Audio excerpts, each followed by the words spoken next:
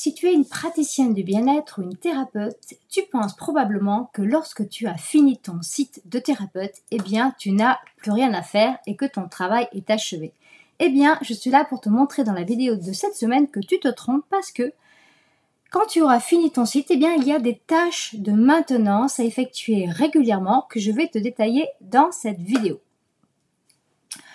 Alors, si je, tu ne me connais pas, je suis Carole, je suis la fondatrice de Mon Marketing Holistique et euh, j'aide les praticiennes du bien-être intuitif et les thérapeutes à aller ancrer leur grande vision de la matière en les aidant notamment à créer un site internet holistique aligné à leur essence et à leur énergie.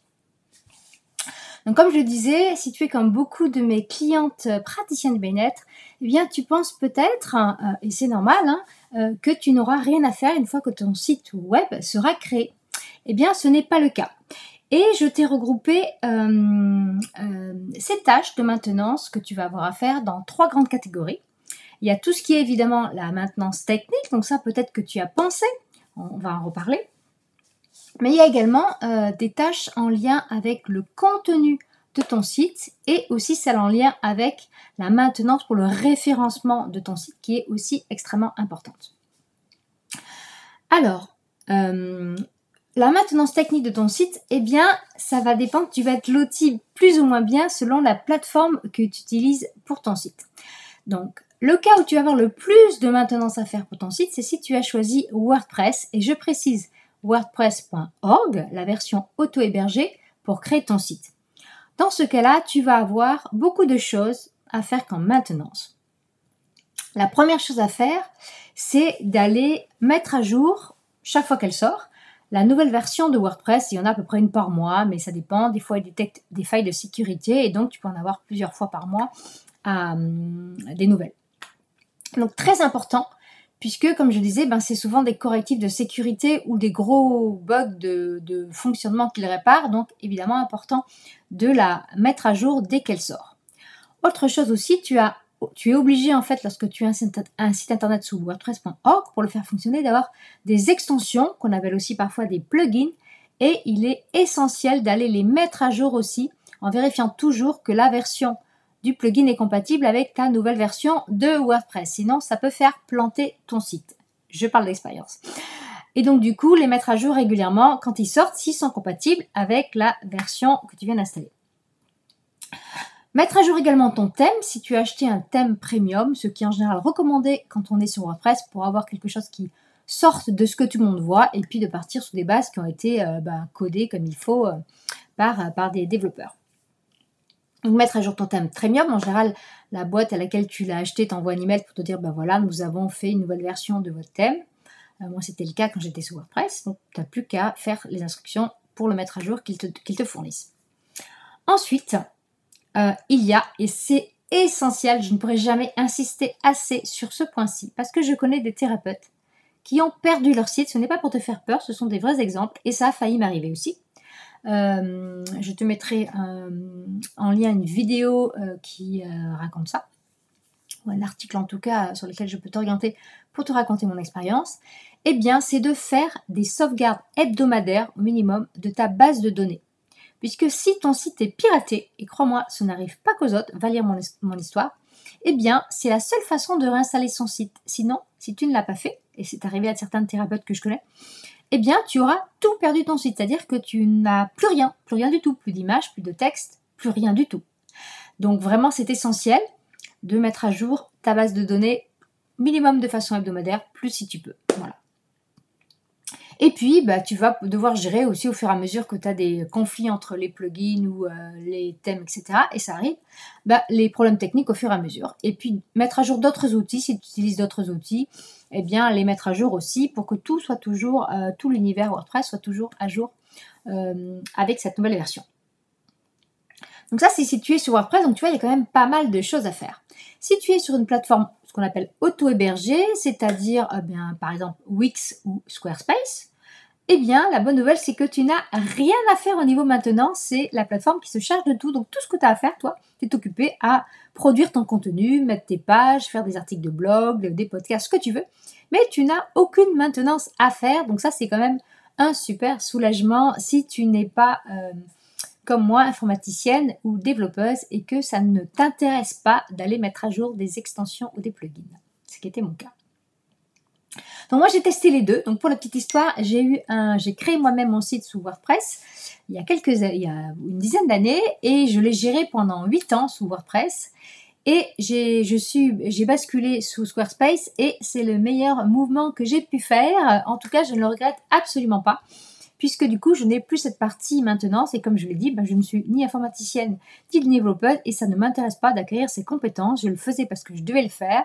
Euh, ça m'aurait coûté cher de le déléguer. Ça m'a coûté très cher lorsque mon site a été piraté. Donc du coup, j'étais enchantée de sortir de cette solution euh, WordPress. Donc, comme je dis à mes clients, chacun son job. Hein. Si ça t'intéresse, si ça te plaît, ou si tu as quelqu'un sous la main qui peut te le faire, pas de souci. Sinon, eh bien, je t'invite à aller chercher d'autres solutions. Alors, le deuxième euh, type de maintenance que je t'invite à faire sur ton site, c'est de mettre à jour le contenu, c'est-à-dire d'aller vérifier certains points que je vais t'énumérer sur ton site. Le premier, c'est bah, évidemment en dehors des mises à jour de contenu type produire un article de blog ou produire un podcast, évidemment. Là, je parle de euh, d'autres quand je dis contenu, autre chose qu'un article. Donc c'est d'aller vérifier que toute l'actualité sur ton site qui figure est bien à jour. Parce que souvent, moi je vais sur des sites, de thérapeute ou pas d'ailleurs, et je vois qu'il y a des actualités qui datent d'il y a trois mois. Ben, je ne sais pas toi, mais moi ça ne me donne pas une image très professionnelle de ce particulier.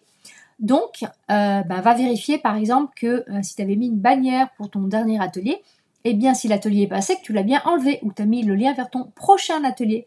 Hein. Euh, donc, mets à jour toutes les informations, que tout soit bien up to date et que tout soit bien à jour. Donc, première chose. et le deuxième point qui est vraiment très important aussi, c'est de vérifier que le parcours de ton visiteur, lorsqu'il arrive sur ton site, eh bien qu'il est euh, facilité, que tu l'as facilité la vie, que tout est conçu, tout est fluide sur son chemin, on va dire le chemin par lequel il doit passer, pour aller faire l'objectif que tu souhaites qu'il fasse euh, quand il arrive sur ton site, eh bien qu'il soit que tu lui as facilité la vie, qu'il n'ait pas à chercher partout comment faire pour prendre rendez-vous avec toi, pour acheter ta formation, pour euh, réserver ton service ou ton programme, eh bien facilite-lui la vie, mets-toi à sa place pour voir ce parcours-là. Euh, l'autre point qui rejoint un petit peu la partie technique mais qui concerne quand même le contenu euh, de ton site, c'est d'aller vérifier au moins une fois par mois que tu n'as pas de lien brisé sur ton site. Alors un lien brisé, qu'est-ce que c'est? Un lien brisé, c'est par exemple quand tu cliques sur un lien et que tu arrives sur la fameuse page erreur 404, que je t'invite à personnaliser d'ailleurs, en fermant la parenthèse. Euh, eh bien, c'est mauvais pour ton référencement. Figure-toi que c'est un impact pour ton référencement parce que ça donne le signal à Google que ton site n'est pas maintenu tout simplement et que tu n'as pas fait ce travail là d'aller euh, mettre à jour les liens quand tu as changé les URL de page, quand tu as changé, euh, tu as supprimé des pages, eh bien il faut modifier les liens et attention, n'hésite pas si tu as besoin à faire des redirections 301 justement pour bien rediriger tout ça et que ça soit non impactant négativement pour ton référencement. Ce qui m'amène bonne transition pour le troisième point qui est justement maintenir le référencement de ton site de thérapeute. Alors maintenir le référencement, ça implique eh bien euh, connaître les statistiques de ton site. Et en général, euh, quand je parle de statistiques du site, on me dit ben euh, mais Carole, comment je fais pour voir les statistiques de mon site? Alors ça va dépendre encore une fois de la plateforme sur laquelle ton site a été construit. Donc, si tu utilises, par exemple, parce que c'est ce que je connais le mieux, Squarespace, eh bien, tu as, sans avoir besoin de te connecter à Google Analytics, qui est là d'où vont provenir les statistiques, tu vas avoir une extraction des principaux, on va dire, euh, euh, mesures à suivre, des principales mesures à suivre, dans ton onglet statistiques sur Squarespace. Mais de toute façon, euh, il n'empêche qu'il va falloir que tu ailles créer un compte Google Analytics et que tu l'installes et que tu l'utilises. Et ça, il y a très peu de thérapeutes ou de praticiens du bien-être qui le font, crois-moi. Et pourtant, c'est là d'où viennent tes statistiques. C'est comme ça que tu vas aller traquer des points importants. Parce que si tu ne mesures pas, eh bien, tu ne pourras pas l'améliorer par définition. Donc, qu'est-ce que je te recommande, déjà dans les, euh, les grandes masses, à aller surveiller dans ton outil Google Analytics ou euh, sur la plateforme que tu utilises eh bien, donc déjà le trafic de ton site, bah, allez vérifier que le référencement fait son job, c'est-à-dire que ça augmente, hein, parce que si ça diminue, c'est qu'il y a un souci. donc, que tu dois adresser. allez vérifier aussi quels sont les mots-clés que les personnes utilisent pour arriver sur ton site. Et puis évidemment faire le travail pour en utiliser davantage ou les améliorer si tu vois qu'ils sont pas performants. et puis aussi savoir d'où viennent les visiteurs de ton site? Quel est le canal en fait qui fait venir le plus de personnes sur ton site? Est-ce que c'est un réseau social? Si oui, lequel? Est-ce que c'est en faisant une recherche sur Google? Auquel cas, tu as intérêt à l'optimiser encore en allant regarder les mots-clés, en allant faire des recherches en allant travailler ton référencement Google. Donc quand tu sais, euh, et puis aussi, euh, trois derniers points sur le contenu, c'est d'aller vérifier qu'est-ce qui marche le mieux sur ton site. Si tu crées des articles de blog, si tu as des pages, eh bien, quelles sont les pages qui sont les plus visitées? Et tu seras surprise parfois, tu, constateras peut-être que certaines pages tu pensais qu'elles n'étaient pas visitées, comme ta page à propos par exemple, eh bien, elles sont très visitées. Et donc, tu vas pouvoir en tirer des conséquences parce que quand tu sais ce qui fonctionne, eh bien, tu peux le dupliquer, le reproduire pour avoir davantage de contenu qui va dans le même sens. Donc, c'est du bon sens, mais encore faut-il le faire. Donc, j'espère que cette vidéo t'aura aidé à prendre conscience de l'importance de la maintenance sur ton site web de, thérapeute ou de praticien du bien-être et dis-moi en commentaire sous la vidéo euh, eh bien si tu savais qu'il y avait tout ça à faire et puis si tu le fais déjà ou si tu ne le faisais pas du tout eh bien dis-moi quelles sont les bonnes pratiques que tu as décidé euh, désormais de mettre en place sur ton site web. Mon but, moi, en tant que, en tant que web designer spécialisé dans la création des sites web pour les euh, praticiens du bien-être et les thérapeutes, c'est de te rendre autonome. Et un signal d'alarme.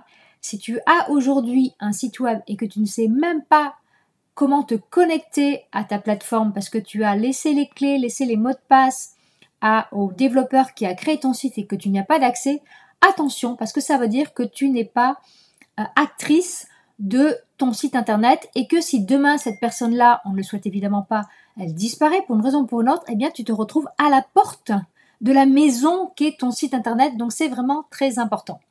Donc moi, j'invite toutes mes clientes, c'est vraiment une valeur très importante pour moi, c'est de leur donner l'autonomie dans leur site internet, que ce soit elles qui le créent avec mon aide ou que ce soit moi qui le crée pour elles. Une fois que je leur ai donné la clé, on revient toujours à cette image de maison, la clé de leur site, eh bien, je suis certaine qu'elles n'ont plus besoin de moi, qu'elles sont autonomes pour le gérer. Donc, je t'invite à reprendre ton pouvoir sur ton site. Et si tu as besoin de le créer ou de l'améliorer ou si tu veux changer de plateforme pour justement aller dans une plateforme dans laquelle tu seras vraiment autonome dessus, eh bien, je t'invite chaleureusement à nous rejoindre dans mon prochain challenge qui s'appelle 5 jours pour créer ton site internet holistique de praticien du bien-être à ton image et qui aura lieu sur Facebook du 13 du lundi 13 au vendredi 17 septembre, donc c'est très bientôt. Et pour t'inscrire, eh bien écoute, je te mets le lien sous la vidéo, sinon tu vas sur monmarketingholistique.com slash challenge et tu t'y inscris et si tu ne peux pas assister aux lives qui auront lieu autour de 13h, eh bien, sache que si tu es inscrite, tu recevras automatiquement les replays. Donc, n'hésite pas à t'inscrire pour pouvoir les visionner. Tu auras plusieurs jours pour les visionner à ton rythme. Sur ce, je te souhaite une très bonne semaine et je te dis à bientôt